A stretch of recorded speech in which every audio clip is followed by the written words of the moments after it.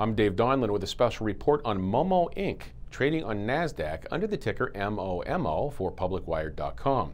Momo Inc. announced that it filed its annual report on Form 20 F for the fiscal year ended December 31, 2014, with the Securities and Exchange Commission recently. The annual report can be accessed on the company's investor relations website.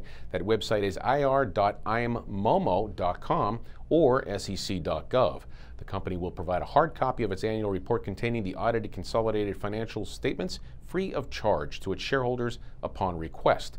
Momo is a leading mobile social networking platform in China. Momo connects people in a personal and lively way through a revolutionary mobile based social networking platform. With powerful and precise location based features, Momo enables users to connect with each other and expand relationships from online to offline. I'm Dave Donlin for PublicWire.com.